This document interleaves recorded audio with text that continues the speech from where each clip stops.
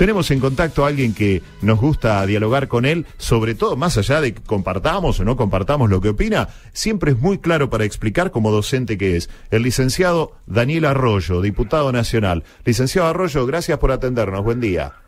Buenos días y un gran gusto. ¿eh?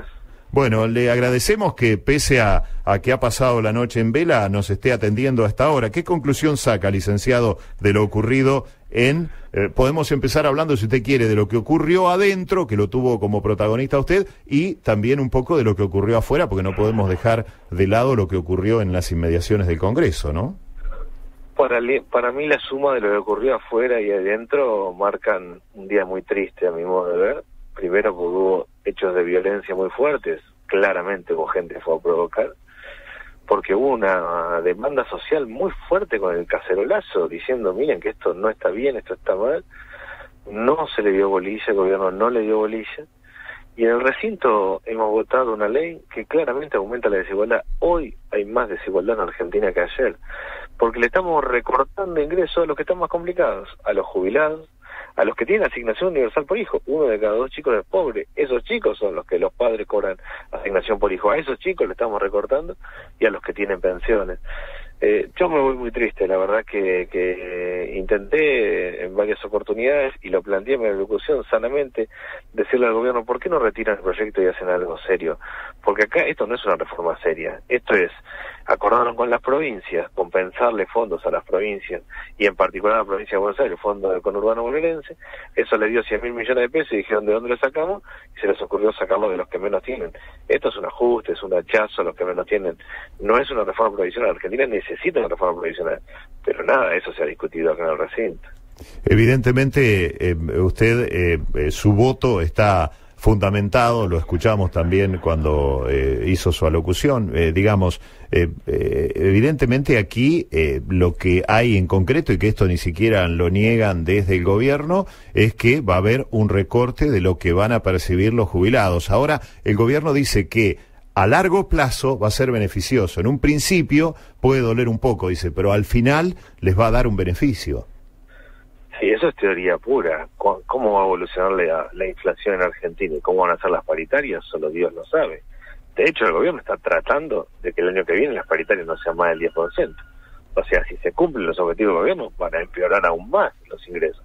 Porque la fórmula del 70% de inflación, 30% lo llama el RIP, el promedio de ingresos de los trabajadores del Estado. O sea que no, no, es mucha teoría esto de que después se va a compensar eh, y además la verdad es que todas las proyecciones que ha hecho el gobierno hasta acá, ninguna se ha dado. El, el año pasado y la inflación iba a ser del 12%, fue iba a ser el 25%, fue del 40 y pico. Este año iba a ser del 12 al 17, termina siendo el 20 y pico.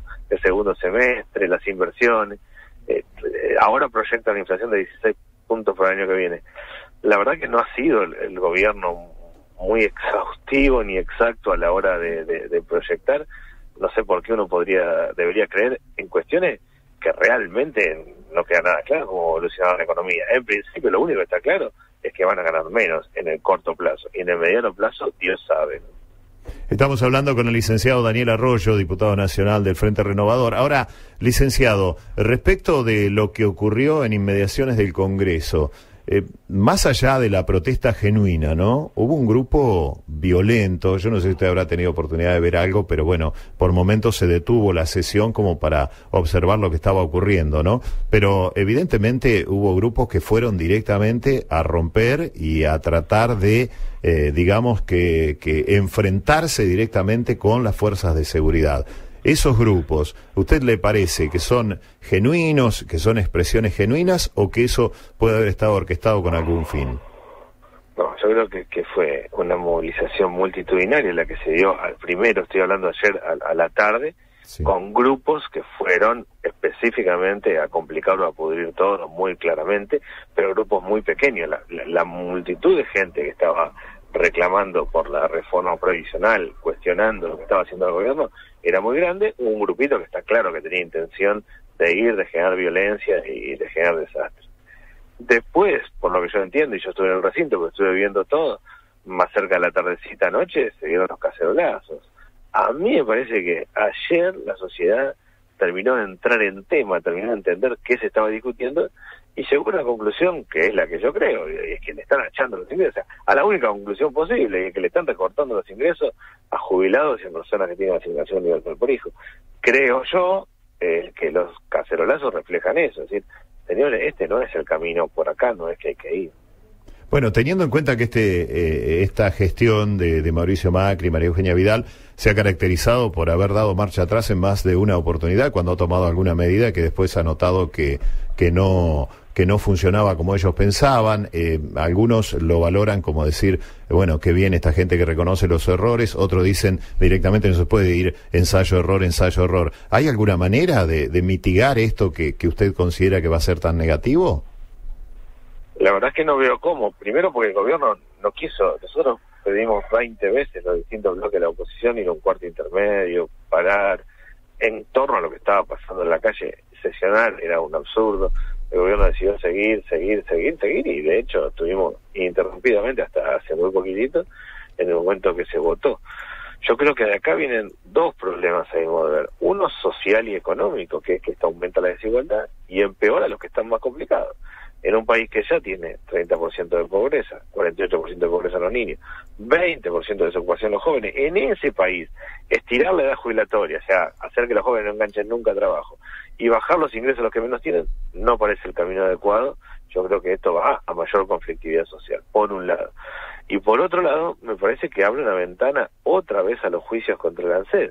Está claro que le están quitando derechos adquiridos a muchos jubilados y está claro que muchos jubilados, como hicieron varias veces en la historia argentina, le van a hacer juicios al Estado. Y finalmente eso lo van a pagar las próximas generaciones. Es como volver a meternos en un circuito complicado. Eh, no, yo no creo que esto sea bueno. No le vi ninguna disposición al gobierno a conversar o a retrotraerse en las decisiones que tomaron.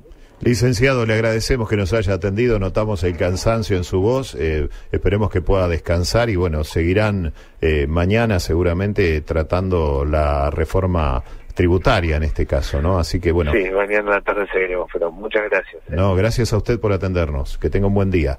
El licenciado Daniel Arroyo, diputado nacional del Frente Renovador, acaba de ser protagonista de la votación. Ustedes habrán escuchado, votó en contra, ¿no? Evidentemente, bueno, dando su visión, cada uno saca sus propias conclusiones. Ahora vamos a los títulos y ya seguimos. Somos la tecla en vivo. Desde La Plata, desde La Plata, capital de la provincia de Buenos Aires, transmite Cadena Río.